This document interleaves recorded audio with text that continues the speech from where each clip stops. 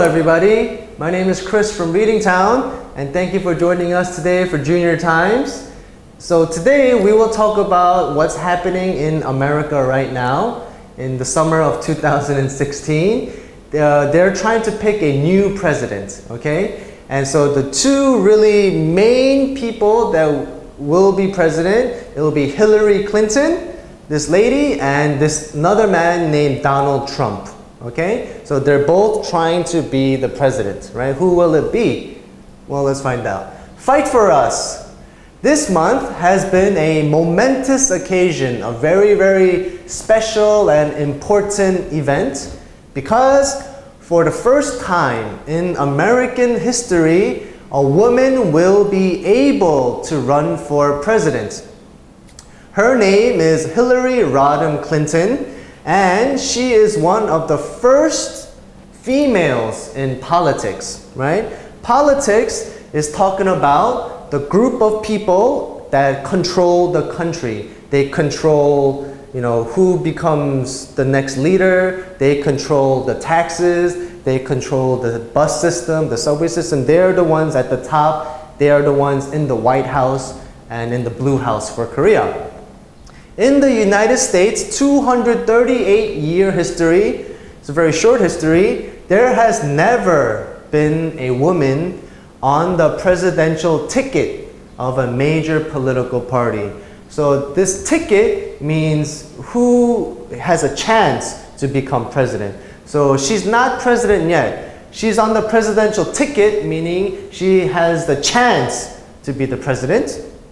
This has not been an easy climb for Hillary. She had to deal with difficult hurdles or difficult obstacles, problems along the way. So of course she's trying to become president, right? But it's not easy. She can just go, oh, I want to be president. Hey, let's be president. She has to be, you know, smart. She has to fight for, uh, you know, her chance. She has to, you know, solve problems, many more than men usually. One challenge was to gain enough support from her own group, the Democratic Party.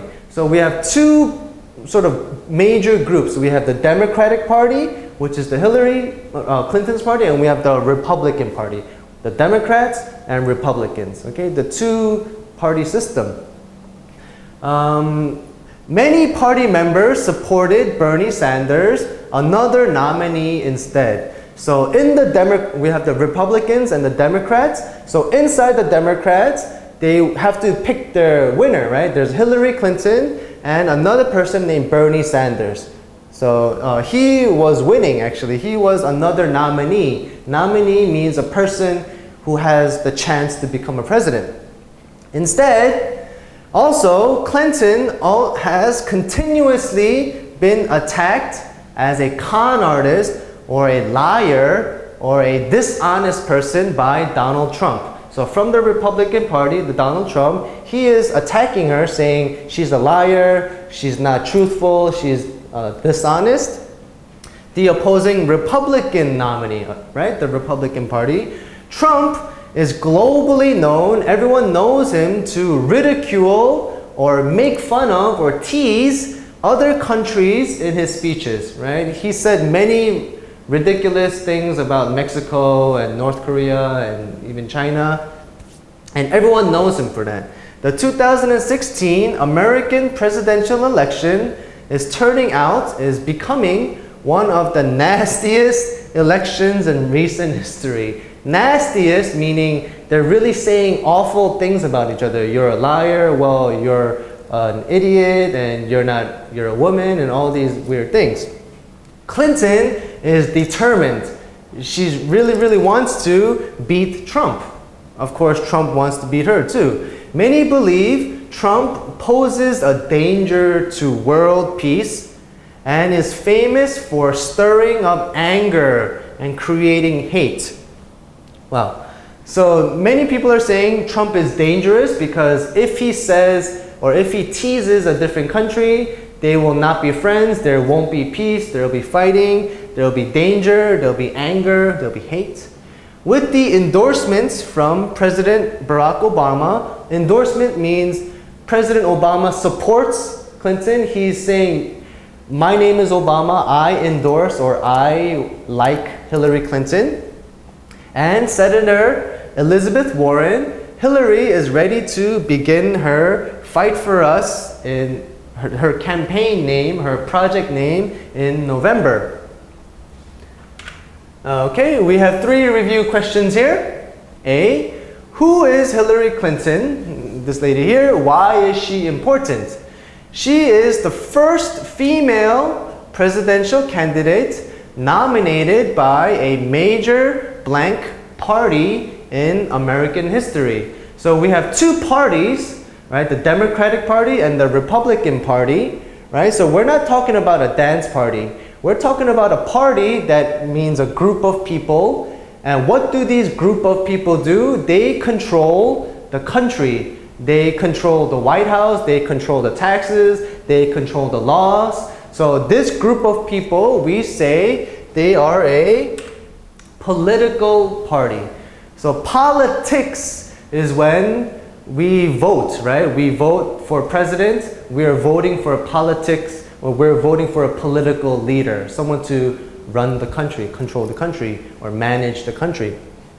B, what challenges did Hillary face? Many Democratic Party members were split between her and another blank, Bernie Sanders. So we're not talking about the Republicans, we're talking about the Democratic Party, right? And inside, this was split. Half of them liked Hillary, and half of them liked Bernie Sanders, right? These two people, we call them nominees. Nominees is a person that many people choose to be the leader. So when we have a classroom in school, right, we have to pick one class president. Well, we have to nominate one person. That person will be the nominee. We say, hey, David, he's a smart guy. He should be the president. Then we nominate him. C, why is the 2016 American presidential election predicted or guessed to be one of the nastiest in history? Well, because Republican nominee Donald Trump is well known. He's famous for blank and attacking others. So attacking others is not a nice thing, right? He's saying uh, bad things about them, and he's also teasing them. He's also making fun of them. He's making jokes about them. And we say that it is ridiculing. We have the word ridiculous ridiculous, like you could have heard in Harry Potter, it means something that is not normal. It's just funny, it's teasing, it's a joke. So when we're ridiculing someone, we're making fun of them, we're joking about them, we're not being nice to them. Okay, we have three review terms here. A, this has not been an blank climb for Hillary. So when Hillary is trying to climb to the top to be the president, it was very, very difficult. It was hard. It's, it wasn't, you know, very, it was not easy. It was not easy. It was hard. There was a lot of problems. There were a lot of obstacles. B, Clinton is determined to blank Trump.